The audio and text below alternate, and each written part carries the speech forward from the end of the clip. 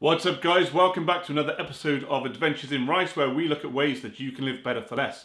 And today we're going to be turning this steaming pile of shit in the corner of my kitchen into a nice looking breakfast bar. At least that's the plan. So, let's go!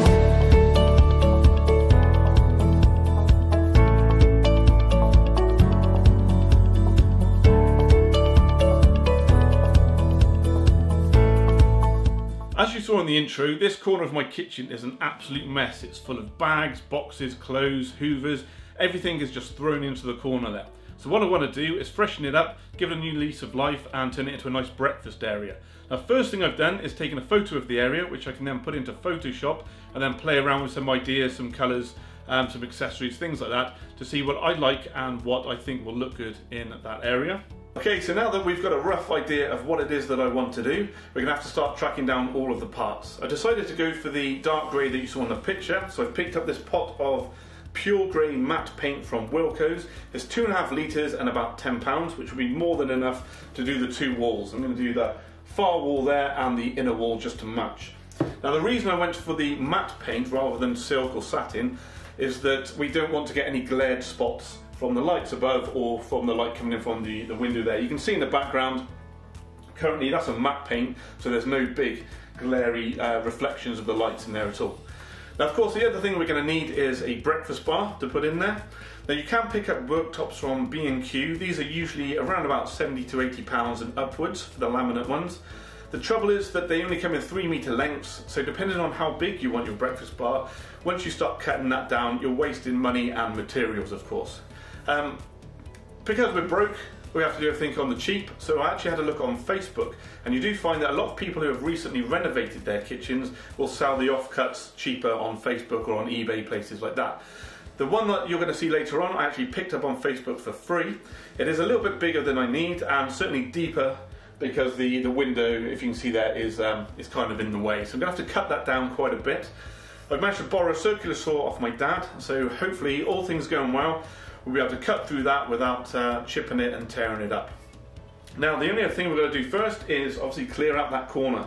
The tumble dryer there is an older one, so that's going to be going. I've got a new one underneath the kitchen unit um, just here now, so that's going to free up a lot more space. And then we're going to clear out all the bags, the boxes, the hoover, all the crap that's in there and get that all cleared out, and then we'll be able to start painting. So let's crack on.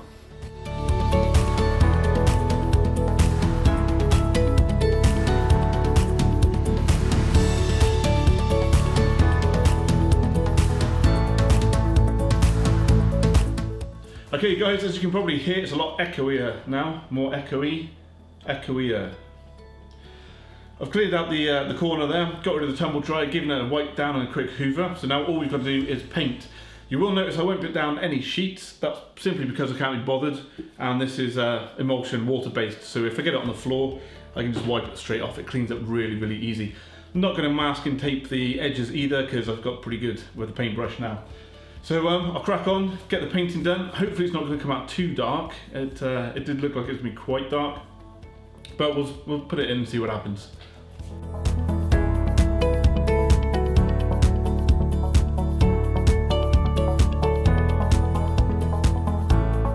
Okay guys, so I've done the first coat of paint as you can see. Um, people are probably going to shred me for my painting technique but I absolutely love these paint pads. They go on really thin so they dry really quick so you can get a good two or three coats done in a few hours. Really, really easy to use as well and get great coverage. You just have to do it a few times, that's all. So um, we'll let that dry a little bit more and then we'll bang on with the second coat.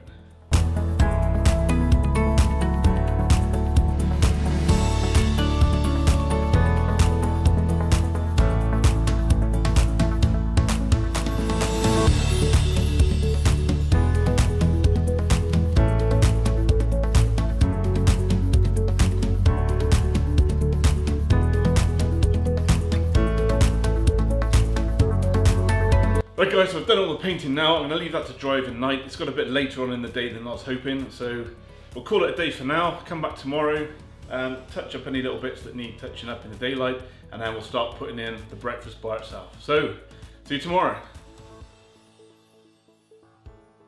So it's now day two of the build, the paint job. The paint's come out pretty well, as you can see. Um, really nice smooth job, which is why I like using those paint pads few little touch-ups to do in the corners, but you know, that's easy enough with a small paintbrush. The plan for today is to get the support system in place for the worktop, and that's gonna consist of three battens, one across the back and then one up each side, and then the worktop's gonna rest on that and that's gonna support it then. Before I do put the worktop in, I'm probably gonna attempt to do the chalk artwork on the wall, just so there's nothing in the way and it's a little bit easier to get to. Once that's done, uh, we can cut down the worktop, fit it to size, slot it in, and that pretty much should be it done then. So uh, let's crack on. I've now cut the wood to size. So we've got this uh, this pine strip wood came from B&Q. It's 25 millimeters thick and 48, I think it is, uh, millimeters wide. Got the two end struts, gonna go down obviously the, the far left and right, and then the long piece to go across the back. And then the worktop's just gonna sit on top of those and we're going to secure that then with some brackets underneath as well just to make sure it doesn't move. To get these on we need to find the struts uh, in, or the studs inside the wall. So somewhere in that wall there'll be big chunks of wood that are just coming down to support the wall. We're going to find those and then we can fix these straight into that. That's going to give us a much more stable platform. Once we come to put these on we're going to use a spirit level obviously to make sure that the worktop is completely straight, the breakfast bar is nice and level across the top. The longer the spirit level, the better it's going to be and more accurate it's going to be. If you don't have one of these, you can get an app from the Apple Store or Google Play Store to uh, run on your phone. Same principle applies, you just stick it on and then level up the bubble in between the two lines. Because your phone's a lot shorter, it's not going to be as accurate, but if you've got nothing else, it'll definitely do.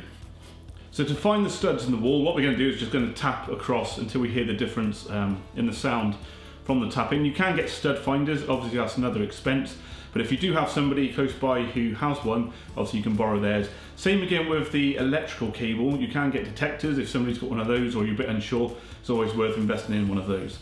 So in the UK, the distance between the studs is usually 400 to 600 mil, so they should be spaced out about that. So We'll give it a go and see what we can find.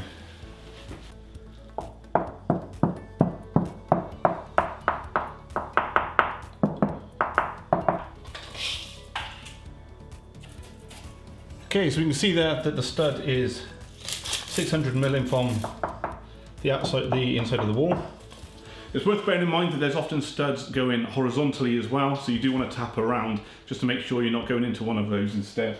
Now we've located the studs, we just need to uh, place the markers, use the spirit level, and then get the batten stuck to the wall. I've decided I'm going to go for about 41 inches from the floor, just so the worktop's still usable from a standing position.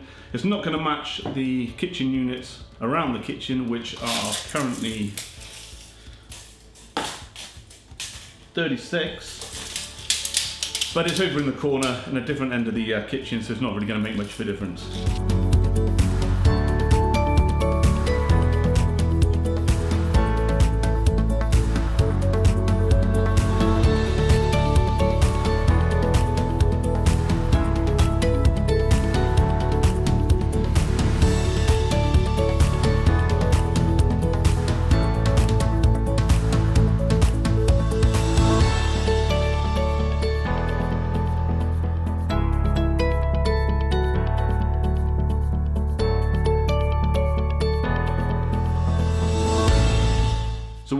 You want to be really, really careful of whenever you're working with a wall that has a switch or a socket on is that you never want to drill, cut, nail or hammer into any of the 90 degrees off the, the socket or the switch. So that's straight up, straight down, straight left or straight right.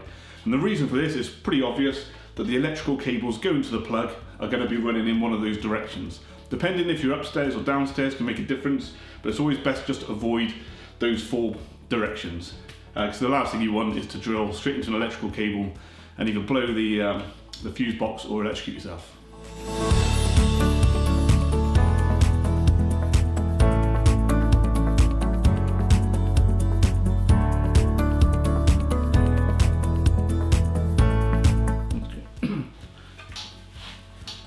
Right, now I've drilled a couple of pilot holes in the wood here. Um, don't worry if you haven't got a drill or you can't borrow one. It's not the end of the world. It just means it's going to be a bit harder and you have to do it by hand. Um, and then put this up against the wall. Make sure it is level again. Poked a nail through the hole here so I can mark on the wall where we want the screws to go into, so it's all going to be lined out when we screw this to the wall in a, in a minute. It's always worth checking what's behind the wall as well. Um, I did actually drill through my bedroom wall once and then straight out into the bathroom mirror.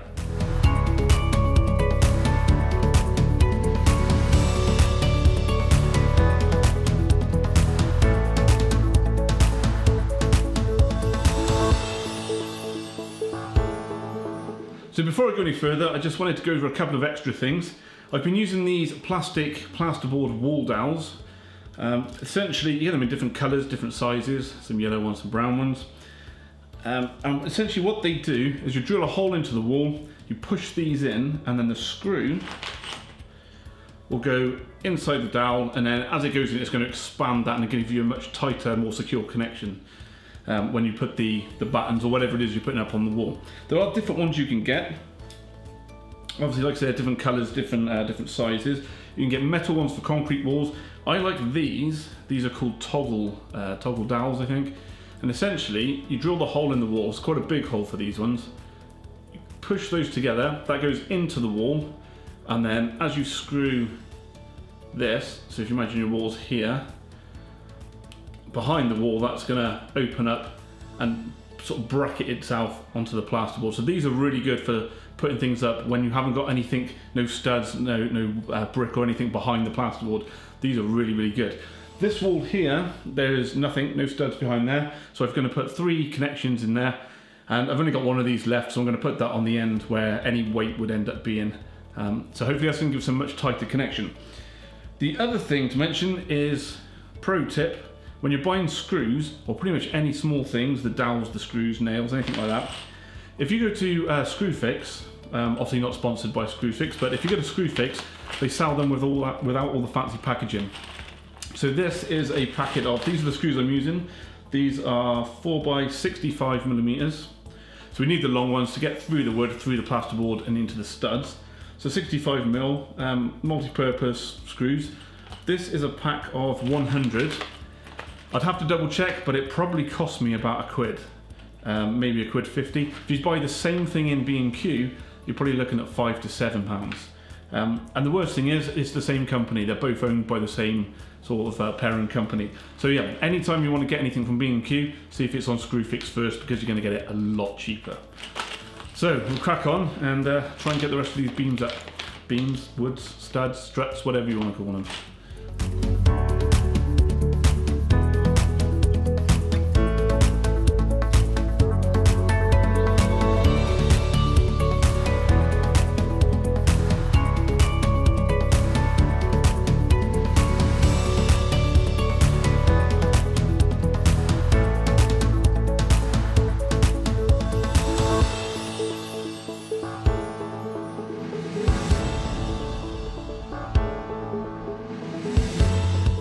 See, the battens are all in place now. I've checked my spirit level to make sure they're all leveled off and they are absolutely perfect. So that's all ready to put the worktop on when we come to that. Before we put that on, so I've got better access to the wall, I'm gonna start doing the chalk uh, artwork up on the wall there. I've gone for the concept one from the, uh, the rough design I did in Photoshop. So I might outline it in pencil first just to get a rough idea. So if anything does go wrong, it shouldn't be too difficult to fix. So uh, we'll see how that goes now.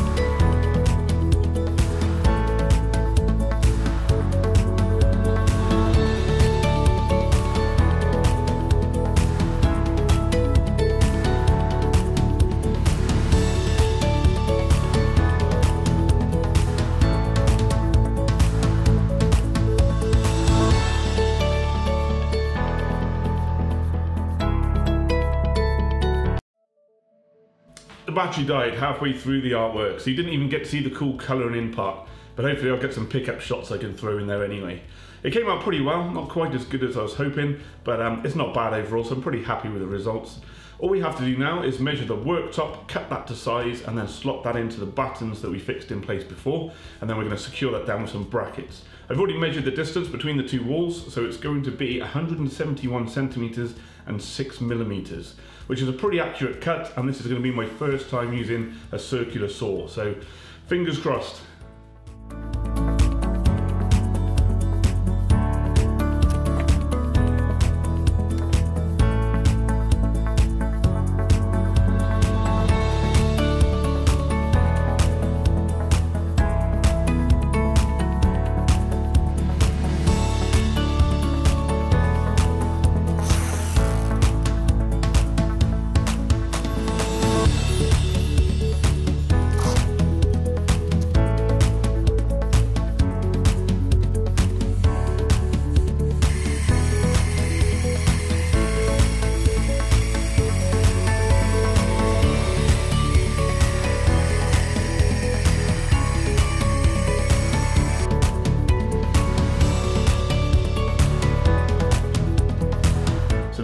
worktop. It is now being cut to size. It is 171 centimeters and six millimeters long. So it's going to be a pretty snug fit. I'm expecting it to chip the paint and scrape the walls a bit just as we put it in, but I'd rather have a nice tight fit than one that's going to have a gap all around the edge. And obviously we can just paint over any little marks that we're going to leave anyway. Um, it came out pretty well. Like I said, first time using a circular saw. Uh, lots of measuring and double measuring and then measuring again. Uh, you can never measure enough. The edgings come out really nice, really clean edges, so that's uh, really important because then we're going to save money by not having to buy beading or edging to cover any chips around the edge. So we'll stick that onto the battens now. Like I say, this should fit. I'm expecting it to scrape the walls, that's going to be fine. And then once it's on, we're going to use some small brackets underneath just to fix this to the, the uh, battens themselves, just to stop it moving around. So let's go.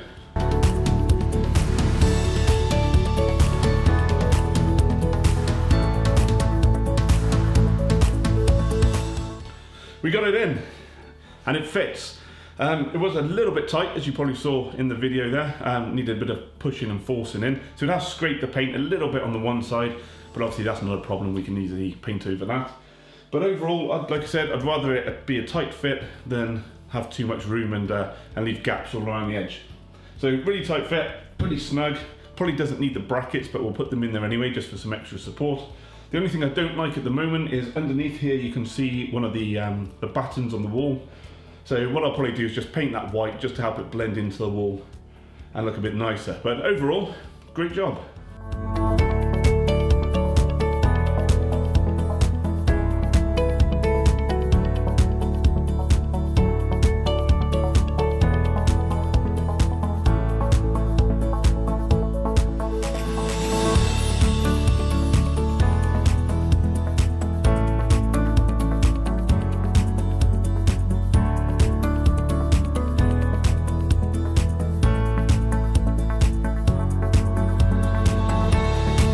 Guys, we've finally done it. We've got the walls painted, we've got the chalk up on the wall and the worktop in, a nice tight fit. That's what she said.